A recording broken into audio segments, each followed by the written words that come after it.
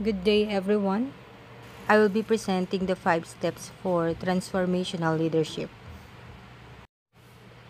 Based on the concept of transformational leadership in James MacGregor Burns' book, Leadership, transformational leadership is a process where leaders and their followers raise one another to higher levels of morality and motivation.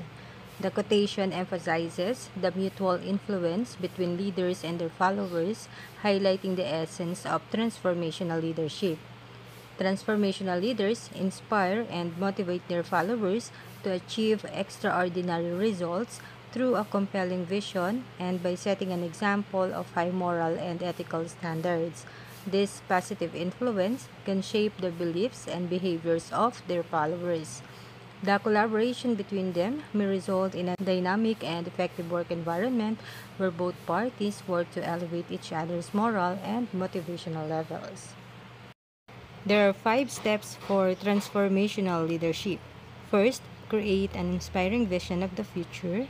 Second, motivate people to buy into and deliver the vision.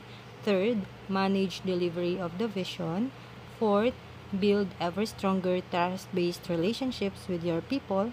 And fifth, monitor and keep up the pace of changing environment. For the first step, create an inspiring vision of the future. 1.1 Your vision sets out your team and organization's purpose. A vision statement outlines the long-term objectives and purpose of an organization, and this gives the team a motivating sense of direction.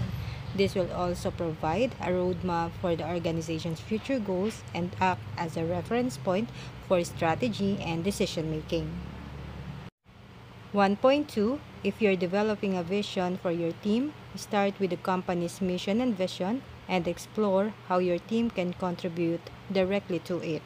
It is imperative to commence with the mission and vision of the organization first to guarantee coherence and alignment among its members.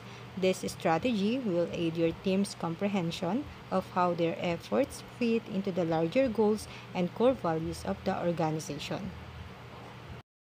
Second step, motivate people to buy into and deliver the vision. 2.1 Use business storytelling as part of your call to action. Every member of your team should understand how the vision impacts their interest. This is the most effective method for gaining support for your vision as a transformational leader. You may discuss your vision with your personnel frequently. You may assist them in understanding how they can contribute by connecting it to their objectives and tasks. And you may begin the meeting with a one minute speech outlining the business unit's vision. People will therefore adopt the vision in their day to day work. 2.2 Transformational leaders also know that nothing significant happens unless they encourage their people. As a transformational leader, make sure that you understand the various forms of motivation and apply them to encourage your team members to perform at their highest level. There are four forms of motivation that you can utilize in the workplace the extrinsic or external source action, identified or the external source non-action, and then intrinsic internal source action, and introjected internal source non-action. For the third step, manage the delivery of the vision.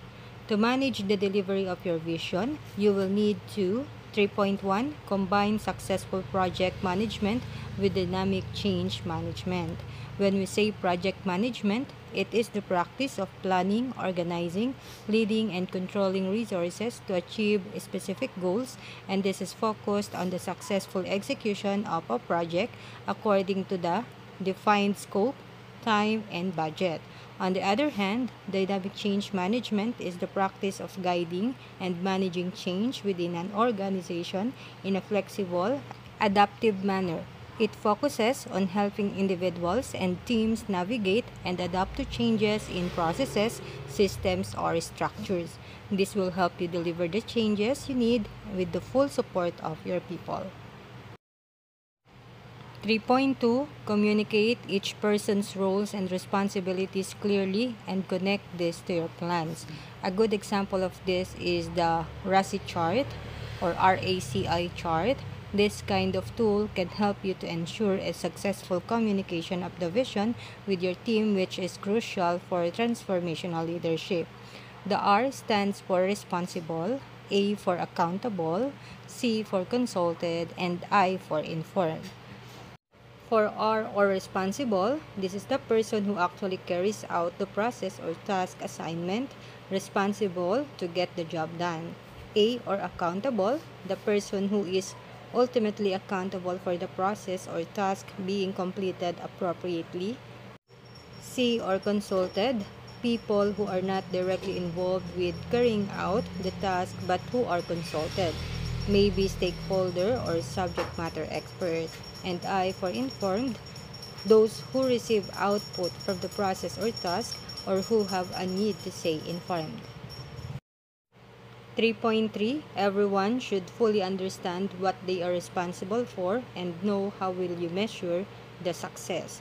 Next step is to set a clear, smart goals for everyone, including some short-term goals that will help people achieve quick wins and stay motivated. SMART is the abbreviation for specific, measurable, attainable, relevant, and time-bound. 3.4 Don't let yourself down. As a leader, you have to build your self-discipline. Set a good example to your people, especially if they are affected by delays or difficulties, by being a model of hard work and persistence. 3.5 Stay visible by practicing management by wandering around. This is an ideal technique for transformational leaders because it helps you stay connected with daily activities and allows you to answer questions as they arise. If your people see you around, this will help them to reach you in case they need support. Clear communication is essential to the transformational leadership. You have to take time to make sure that your communications are heard and understood and give clear regular feedback so that your people know what you want. Fourth step, build ever stronger, trust-based relationships with your people. As a transformational leader, you need to focus your attention on your people and work hard to help them achieve their goals and dreams. To reach the organization's goals, the business unit should be rewarded. To achieve this, individuals in the team should see a self-interest in achieving the goals of the business unit. 4.1 Work constantly to build relationships, earn trust, and help your people grow as individuals. Go one on one with your team members to learn about their developmental needs and assist them in achieving their professional objectives. Transformative leadership necessitates regular communication with the team members. 4.2 Build trust with your people by being open and honest in your interactions. To increase their effectiveness and efficiency within the company, put yourself in their position and develop emotional intelligence so that you can respond appropriately to their feedback. 4.3 Set aside time to coach your people. When you assist them in finding solutions, you not only build a skilled team but also boost their self-esteem and trust in you. Fifth step, monitor and keep up the pace of changing environment. 5.1 You must be prepared for changes and obstacles in your journey. It is necessary for transformational leadership to be resilient to respond to the constantly shifting dynamics of business environment, proactive for changes, and ongoing development.